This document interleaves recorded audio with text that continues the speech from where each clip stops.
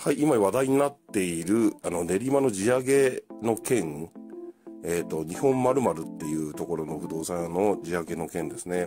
で、まあ動画先に、まあ自分はもう見てて、まコメント欄で、このとこ、ここに行ってくれ、行ってくれっていうコメントがいっぱい来てたんだけど、その前からもう自分はもう見てて、で、あのー、母さんがその自殺に追い込まれた、その地上げで嫌がらせで追い込まれた、なんか深夜にそのバーベキューやったりとか、で、えっ、と、住む権利があるんだけども、借地借家法とかで、で、あの、かなり先まで住めるんだけども、あの、持ち主からすると、まあ、あの、そこを立ち退いてくれた方がマンションだったりして、まあ、大儲けすると。まあ、そのためにその嫌がらせをしたり、家の前にいて、で、その、あの買い物とか行く時にそれをついてきたりとか、で、バーベキューで騒いだりとか、で、電飾をつけて、なんかその、かなり眩しい感じにしたりとか、それ日が当たんないように、あの、足場立てて、あの、カバーしちゃったりとか、そういうのあったらしいので、ただその、まあ、実際に聞いてみて、本人たちに聞いてみて、で、もしくはその、この地上げ屋の不動産屋、まあ、反社って言われてるけども、ネットで。うん。で、まあ、そこの言い分もちょっと聞こうかなと思って、まあ、言ったんですけどね。うん。じゃあ、その様子をちょっとご覧くださいと。はい。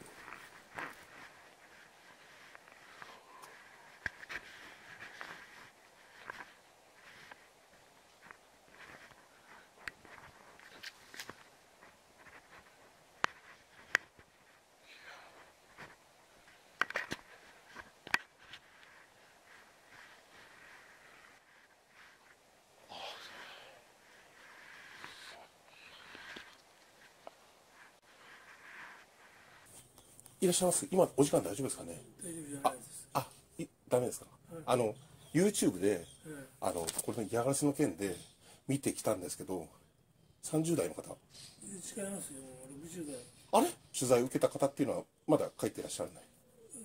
うん受けてないですよ。受けてない？奥さんが自殺されたっていうのは。ここです。ですよね。えっ、と、お話って聞けますかね？僕一応 YouTube やってて、で、世直し系の YouTube やってるんですけど、あの、取材は受けた方は息子さんですよね？多分。受けてないですよ。受けてない？え俺それ見てきたんですけど、で、亡くな亡くなられて、でい、いろいろ嫌がらせされてっていうので、えもういいです。もういいですか？はいわかりました。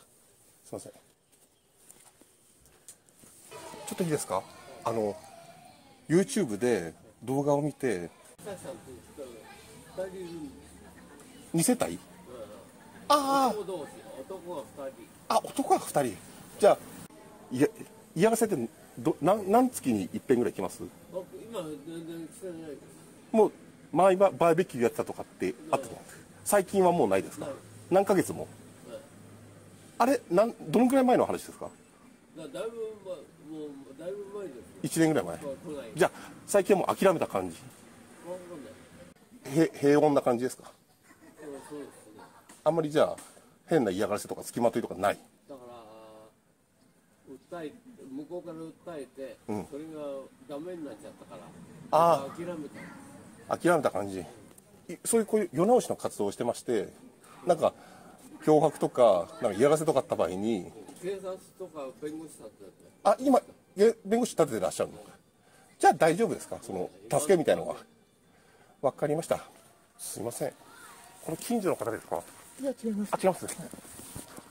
反射っぽい人ってこの辺でなんか溜まったりしてます？最近。最近見たことないですか？あ、すみません。ありがとうございま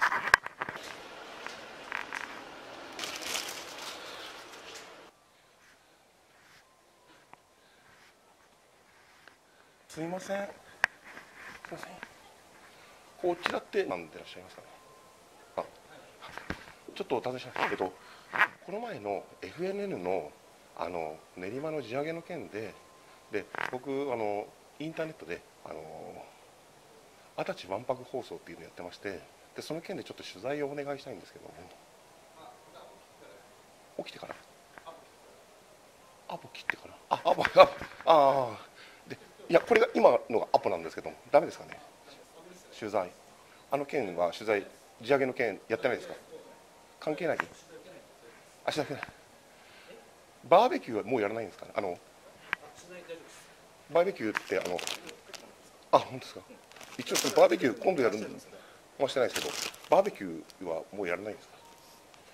あの動画見たんですけどバーベキュー今度やるんですけどこれちょっと余ってるので炭これ使ってもしよかったらえだから足立万博放送っていうまだ足立と申します YouTube あいやダメわかりました。これいらないですか？バーベキュー？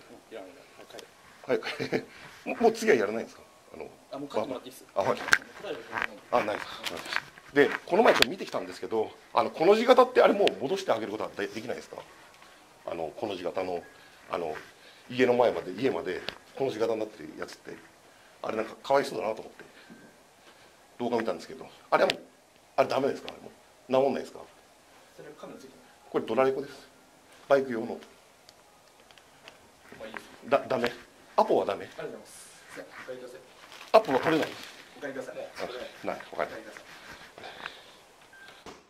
まあ、こんな感じで、まあ、取材は断られてしまったんですけども、まあ、その断り方とか、言い方とか、早く帰れとか、言い方でもう、あの、まあ、どういう会社か、まあ、わかると思うんですよね。場所はね、まあ、いいとこにあって、スーパーゼネコンが入ってるようなビルにあるんですけども、で、取引先とかも結構今立派なとこで、うん。